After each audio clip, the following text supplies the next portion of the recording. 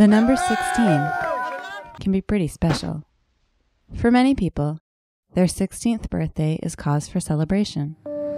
Perhaps an opportunity to drive a car, a time to think about the next steps of education, or simply accumulating more knowledge and information about the world around them. This year, NASA's Chandra X ray Observatory celebrates its own Sweet 16. July 23rd marks Chandra's birthday, as it was launched aboard the Space Shuttle Columbia and then deployed into space on this day 16 years ago. I'll tell you, there is nothing as beautiful as Chandra sailing off on its way to work. In August, Chandra passes the 16th anniversary of another milestone in the mission the release of the first light images from the telescope.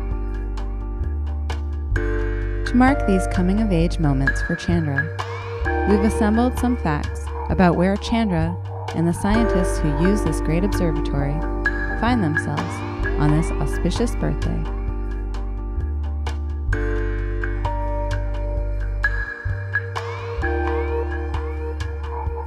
For example, do you know how far Chandra has traveled even without a driver's license? Or how many scientific papers its data have produced?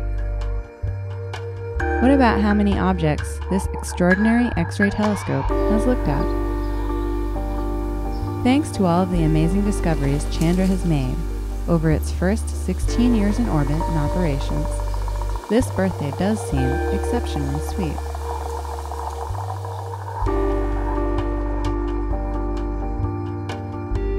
Chandra has had its driver's license for a while now. Chandra has covered a tremendous distance since launch.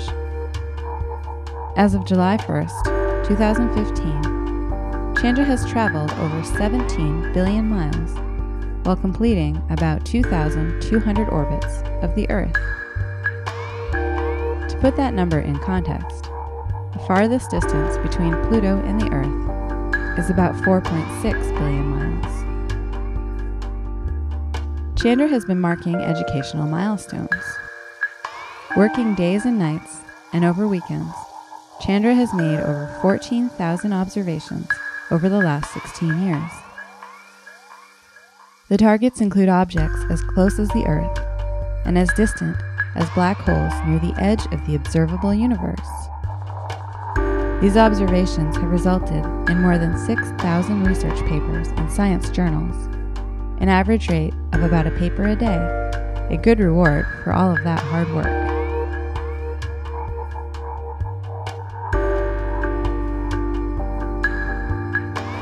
Chandra has been busy hanging out with friends. One thing that is often true about teenagers, they enjoy being with their friends and socializing. The Chandra X-ray Observatory is no exception. While Chandra doesn't physically hang out with its telescopic buddies, some of which are orbiting in different parts of space, and others that are found on the ground around the world, they do get together virtually. This means that Chandra's data are often combined with those from other telescopes to both make scientific discoveries and generate some spectacular images.